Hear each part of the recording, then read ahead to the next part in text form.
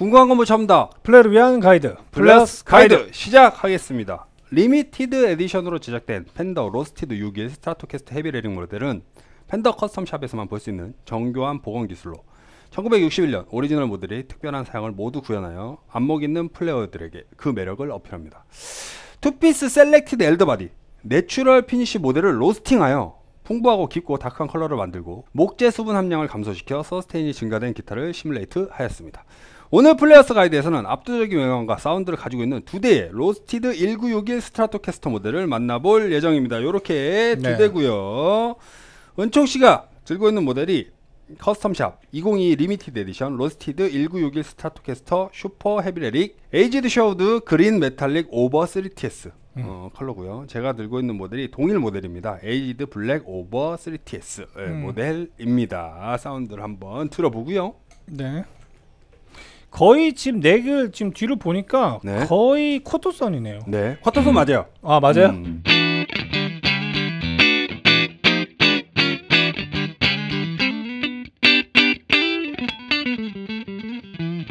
거의 코토선이 코토선이 맞군요 이게 네. 중간에 까져 있으니까 네. 제가 몰랐는데 맞네요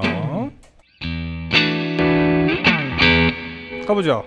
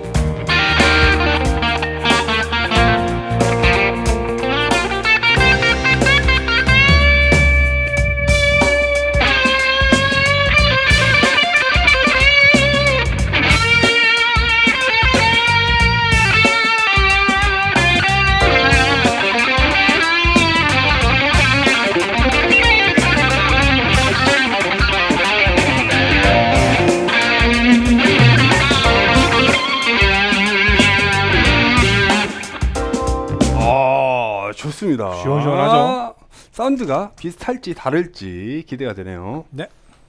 가보죠 또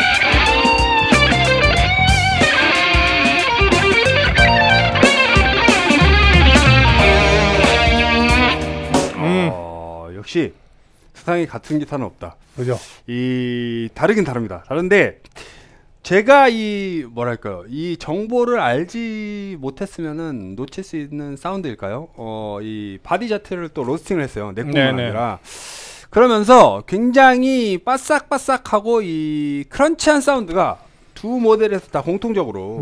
어, 느껴집니다. 그래서 이 굉장히 사운드의 텐션이 굉장히 강하고 음, 뭐랄까 좀 통통 튀는 듯한 음. 어, 느낌도 좀 전달이 되고 있고 이 굉장히 매력적인 사운드. 그러니까 이 일반적인 Strat과 비교를 했을 때 뭔가 조금은 다른 듯한 음. 느낌이 있는 게 사실입니다. 어.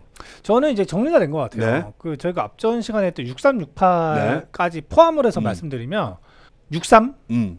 61, 68. 음, 요 순으로 음, 가는데 음, 뭐냐? 가장 따뜻한 것부터 네. 가장 시원한 어, 순인 것 네네네. 같아요. 그러니까 63이 가장 따뜻하고요. 그 61이 딱 중간에 음. 있습니다. 63이 가장 따뜻하고 어 61이 이제 그 딱 중간 음. 그리고 형님이 말씀하신 그 바삭한 음. 이제 바싹 마른 음. 그 크런키한 느낌이 강하고 어 68 같은 경우는 그냥 빠꾸 없이 그냥 음, 음, 시원하게 음, 음. 가는 그게 있어요.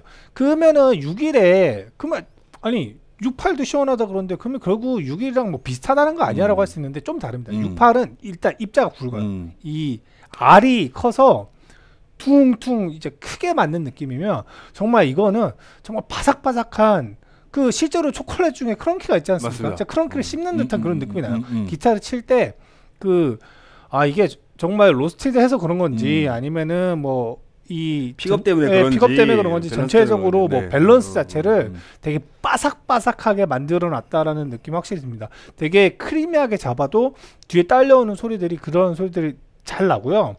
그 앞전 시간에 이제 마이클 란도를 했다 보니까 음. 좀 이렇게 커- 똑같은 커스텀샵 라인이고 이제 비교 대상이 네. 되죠. 다 60년대 네, 모델들이고. 음. 심지어 60년대 모델들이고.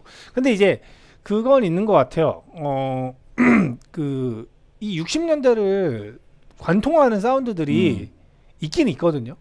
그러다 보니까 우리가 거의 익숙해진 거고 하긴 한데 어 확실히 소리적인 걸로 봤을 때는 음, 중도를 제일 가장 잘 지키는 음, 음, 모델인 것 음. 같아요. 그리고 지금 여기서 주는 컬러감이라든가 개인적으로 참 너무 맞아요. 멋지게 말도 안 되는 거죠. 음. 뭐이 초록색을 이렇게 멋, 멋스럽게 이 했다는 것 자체도 너무 멋있고 그리고 일단은 이 지금 요 아우라가 좀 다르죠 음. limited edition 네. 이 지금 여기 백플레이트에 아예 새겨놨는데 또 이런 것들이 가지고 있는 매력이 있습니다 그 물론 요 모델 같은 경우는 호불호가 없을 네. 거예요 이제 뭐 블랙에 톨토이즈인데 음. 뭐 누가 싫어하겠습니까 음. 근데 요거 같은 경우는 아 진짜 음.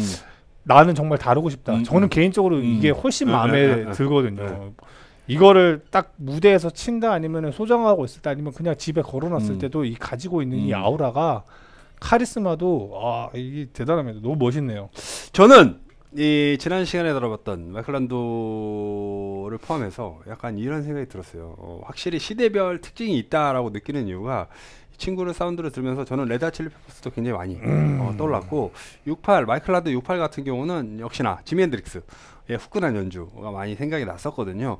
그런 이 미묘한 차이들이 확실히 이 Strat의 매력을 더하는 게 아, 아닌가라는 생각을 가져봤습니다. 그래서 저는 이제 전 시간 때 마이클 란도 그 signature custom shop에 또 사실 그게 시, 과연 signature인가? 음, 음, 음. 그냥 음. 마이클 란도도 그 당시 때 기타를 쓴 그죠, 거잖아요. 그죠. 자기가 썼던 음. 거를 이제 또 나는 이때를 좋아한다 해서 나온 건데 음. 그냥 그 시대 연도에 음, 음. 잘 만들어진 음. custom shop이라고 보거든요. 이 친구도 정말 잘 만들어지고 이 밸런스도 너무 훌륭하니까 일단 여러분들 쳐보시잖아요. 진짜 음. 이 요즘 custom shop이 가격이 오른 만큼 음. quality도 맞아요. 어. 너무 좋아졌어요. 그러니까 예전에는 솔직히 Fender custom shop이 욕을 많이 먹었던 음.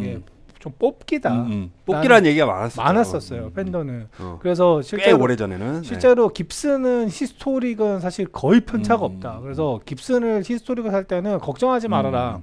정말 100대 중에 한 대 있을까 음, 말까다 음, 음.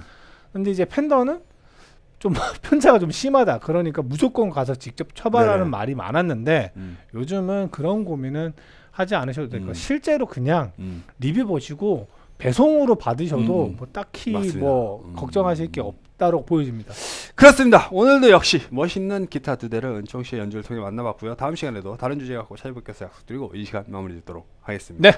궁금한 건물 첨다 플레이를 위한 가이드 플러스 가이드 다음 시간에 뵙겠습니다. 감사합니다